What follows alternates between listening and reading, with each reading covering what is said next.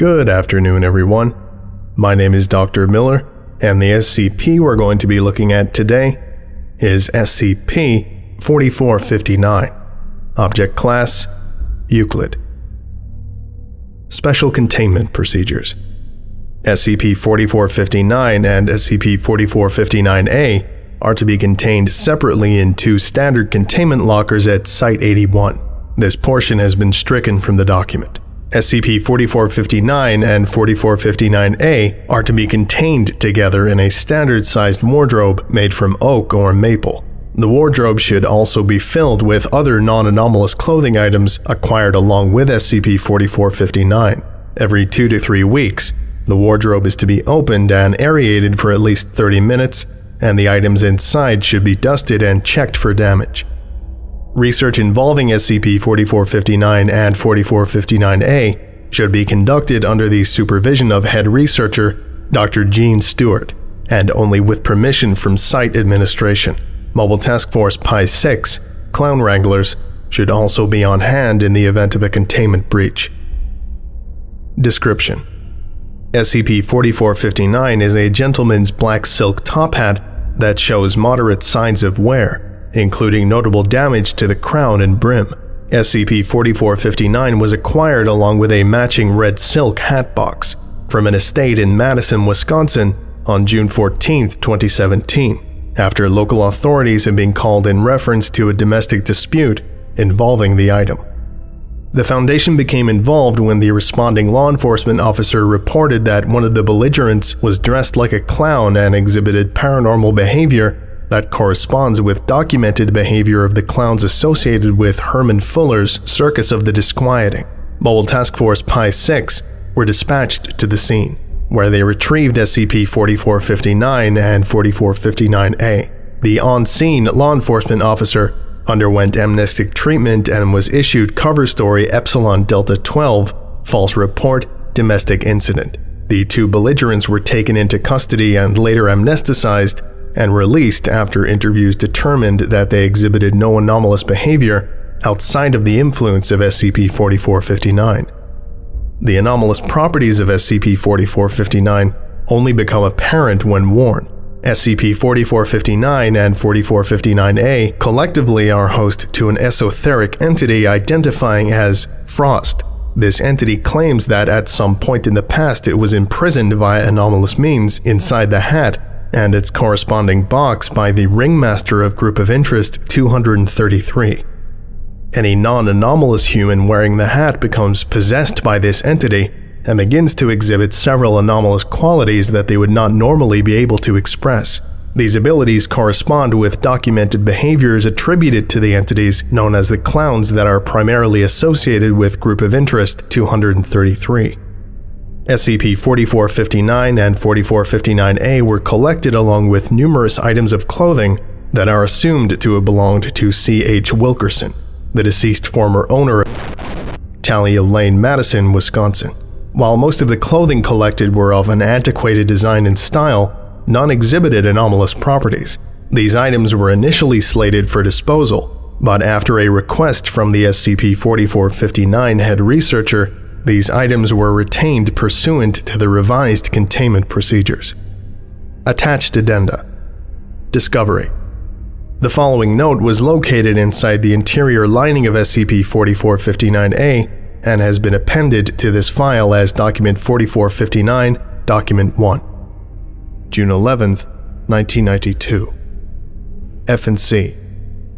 If anyone deserves a rest, it's you two. Thank you for all the laughter, all the tears, and all the service over the years. I hope this gift will help you blend in where you never could before. Icky. Addendum Initial subject interview 4459, interview 1. Playing log now. Interviewed SCP 4459 and D 2871. Interviewer Dr. Gene Stewart. Forward. D class subject use authorized by Site Administration. D 2871 assigned Due to the unpredictable nature of the subject, interview was conducted in a secure interrogation room with Dr. Stewart conducting the interview via teleconference. D2871 was placed in a room with SCP 4459 on a table in the center of the room. D2871 was directed to remove SCP 4459 from its case and place it upon their head. Begin log 2806 17, 1018 am. Good morning, D2871. There is a hat in the box on the table. Please put it on. Yeah, yeah, sure. This is much easier than some of the other things y'all let me do. D2871 removes the lid and lifts out SCP 4459. Hey, this is kinda nice. A bit old, but whatever. D2871 places SCP 4459 upon its head. A moment or two passed, then several physiological changes were observed to happen all at once. D2871 is a member of a non white ethnic group and their pigmentation was observed to shift across the expected ethnic spectrum to assume an off white pallor similar to the white clown paint. Additionally, D2871's depilated state was observed to change and hair growth was noted. D2871, would you please describe what you are currently feeling? I'm sorry, Doctor. Jonathan is no longer available to answer your questions. A notable tonal shift is noted and D2871's stance and demeanor is observed to be markedly different from documented norms. Subject shows significant deviation from recorded baseline.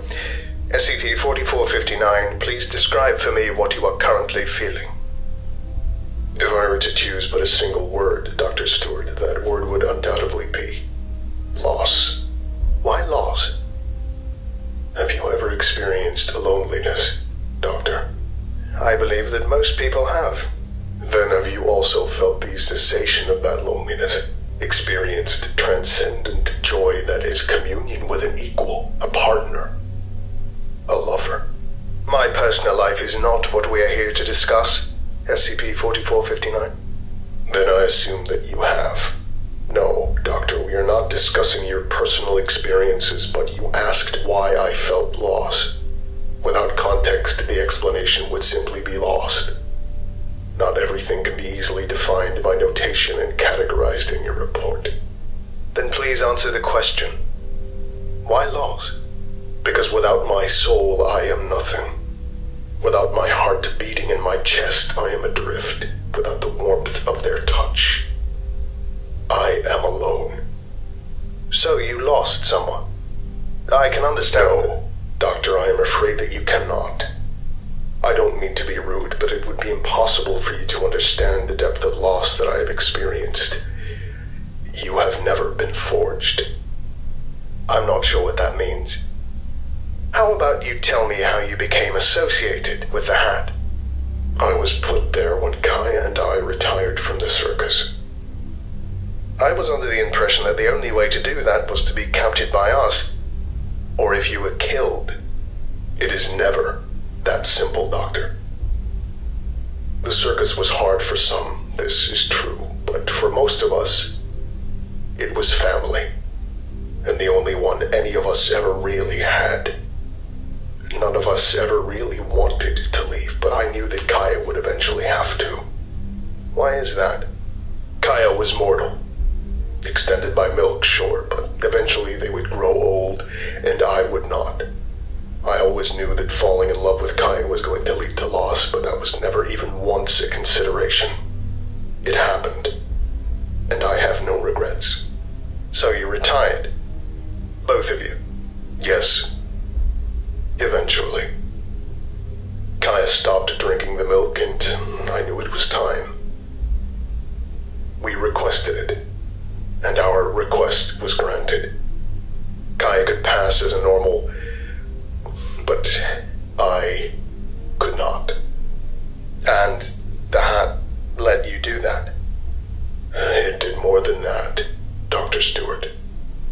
After that exchange, SCP 4459 lapsed into silence and refused to respond to any further questions. Eventually, D 2871 removed the hat and returned it to its box. Closing statement. It is my assessment that SCP 4459 does not present much of a threat, and while I would prefer to reclassify it as safe, I believe that the inherent unpredictability of its clown nature makes it so that would be ill advised. End log.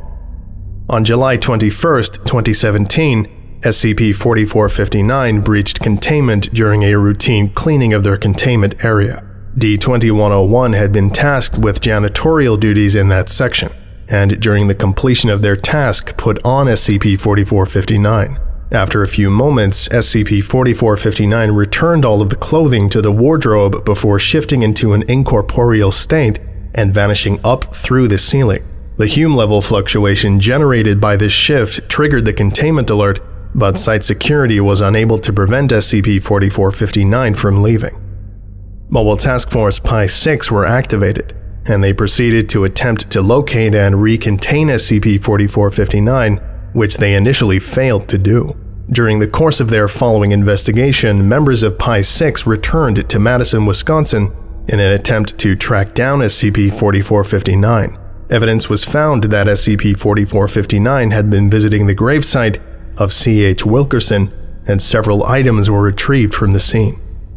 Document 4459 2. The following documents appear to be several pages torn from a journal. I'm not sure what that really meant. I do know that Kai is struggling to find a purpose here at the circus, and I really want to help them find a place.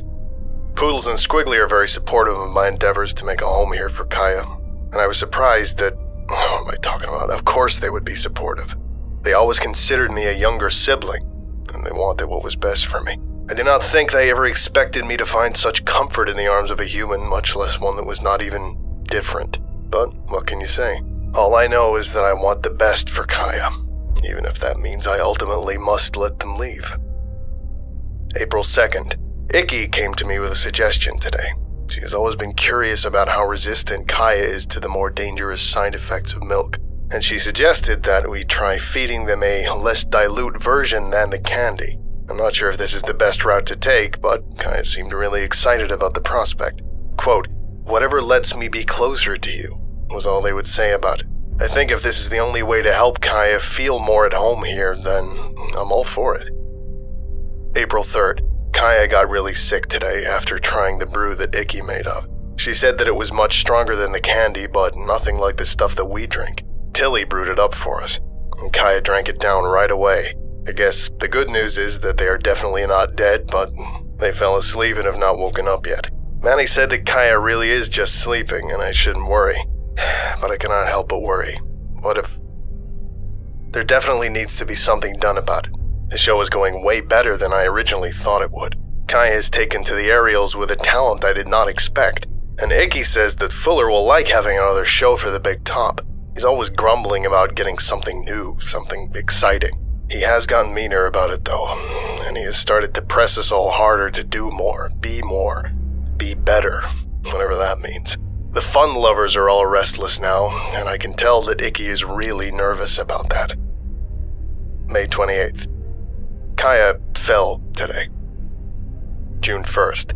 It took a few days, but Kaya was finally able to get up and walk around. While not as resilient as we are, I was surprised how little the fall actually hurt them. I keep asking Kaya either to take it easy or allow Dick to finish the transformation, but they still did not want to accept the full conversion. I think they're afraid that becoming a clown would make them different.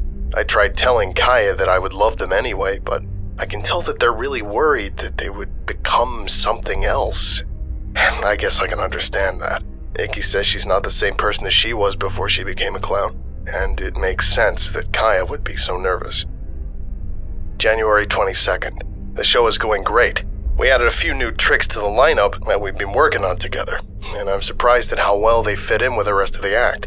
Kaya's really thrown themselves into the performances, and I think that they really have finally found their place. The look on their face when they're not holding on to me makes me feel so safe. It doesn't matter that falling would not really hurt me.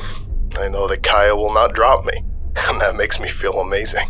I'm so glad that they are finally at home. I think I'm gonna get Tilly to make something special. February 13th. So much has happened, and I've not really had the time to put it all down. Everything seems to be coming to a head between Fuller and Manny. They're fighting all the time now, and their yelling matches are really beginning to take their toll on the rest of the cast. Those damn freewheelers are everywhere now. I can't even get alone time with Kaya in the alley anymore. They're always watching, always leering just around the corner. Poodle said that we don't have to worry about them, that Icky won't let them touch us. But I'm afraid for Kaya. They're no longer as fragile as they were when they arrived, but they're still not a clown, no matter how much Icky says they are.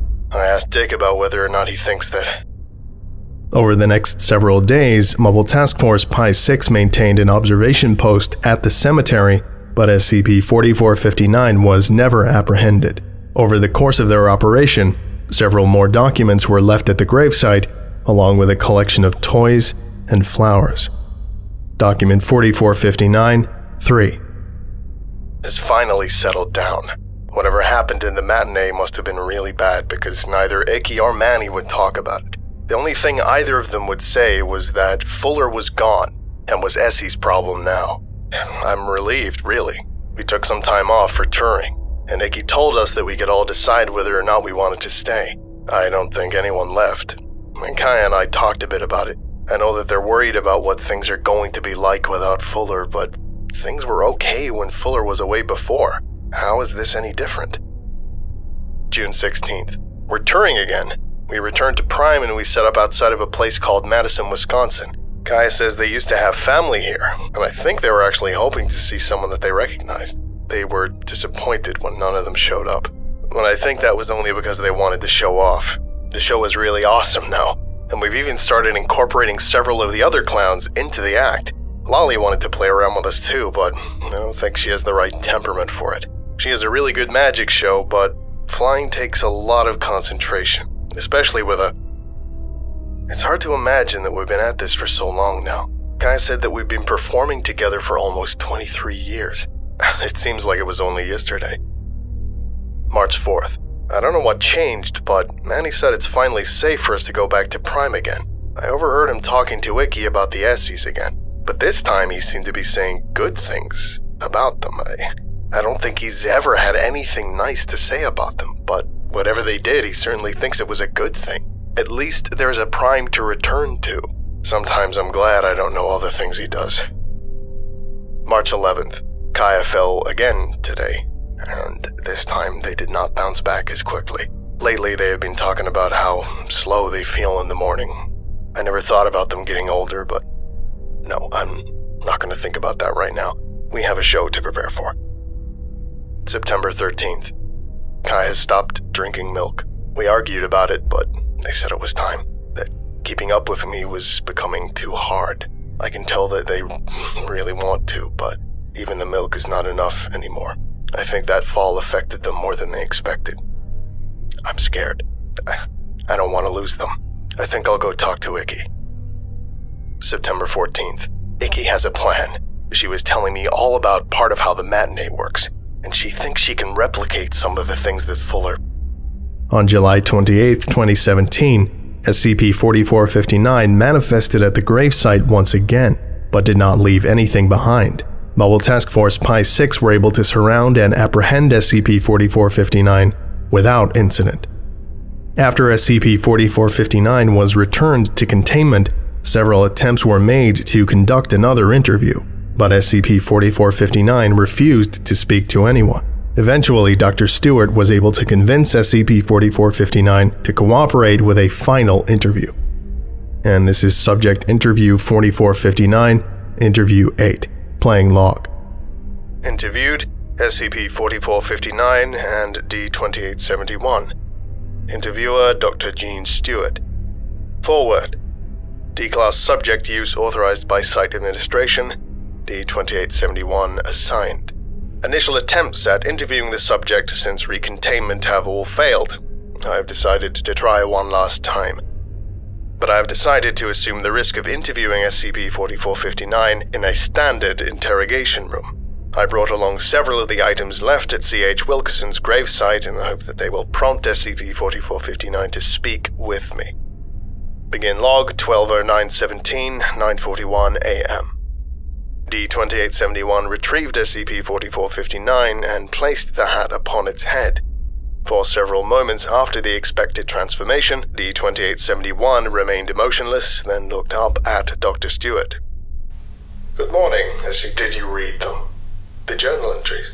Yes, I did. I I think I understand your loss a little better now. Maybe. What do you mean? Look, if you're going to be uncooperative, I will just terminate this. The Crown forged us, Dr. Stewart. It made us one person. Guy and I, we got to grow old together. I never expected to be able to do that. How was it able to do that? I do not really know, to be honest. Icky said that some of Fuller's magic remained behind in his top hat. It was one of the most precious things she owned from back then. She only brought it out to wear on special occasions. Kaya did not want to take such a gift. They said it was worth more than a clown and an old performer. So it had something to do with. You do not understand, Doctor. It was not just a top hat, it was his crown. It was part of what sustained the whole circus. It let us know where all of us were all the time. Icky used it to help keep us safe. Without it, I do not know. There was a reason the circus did not visit Prime for a while after we left. That was a really costly gift then, but it meant so much more to us. It let us be together. I do not think that even Aki knew what would happen. I guess she thought it would just function as a kind of disguise, but when Kaya put on the crown, they became human again, completely. And I was there with them, inside them, a part of them for the first time. I truly knew how much Kaya loved me. At last, we were one. Okay, I, I can accept that. What happened after that? We moved to Wisconsin. Kaya always loved it there. Icky gave us enough of your money so that we could retire, and we just got old. So, what happens when no one is wearing the crown? I am not alone anymore, Doctor. I had to be sure. I'm sorry that I left without permission, but I. I had to say goodbye. That must have been hard for you. I'm sorry. More than you know. Would you let me go back to my box now? I'm so tired. Okay. Thank you for your. Could you give me back our things, please? I know you still have all the clothing that you took when you captured me. It would comfort me. I would like all our things together, like you found it. I'll see what I can do. Thank you, Doctor. I would appreciate that. You're welcome, Frost. End log. Closing statement. I am going to request that all of the items found from the Wilkerson estate be collected and the containment procedures revised. Approved. Site Director Actus. End log. This concludes today's lecture. Thank you for listening, if indeed you still are, and you're all dismissed. Goodbye.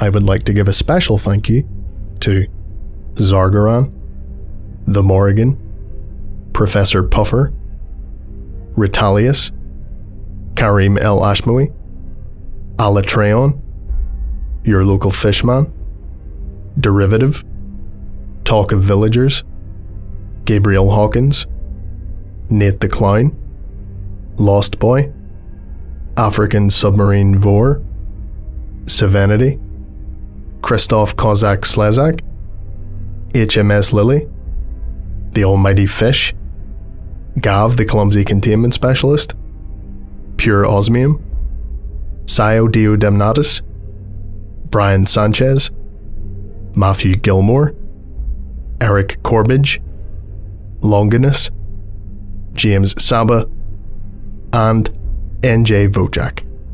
If you would like a special thank you at the end of each of my videos, and some other cool stuff as well, visit patreon.com forward slash the Volgun. Thank you.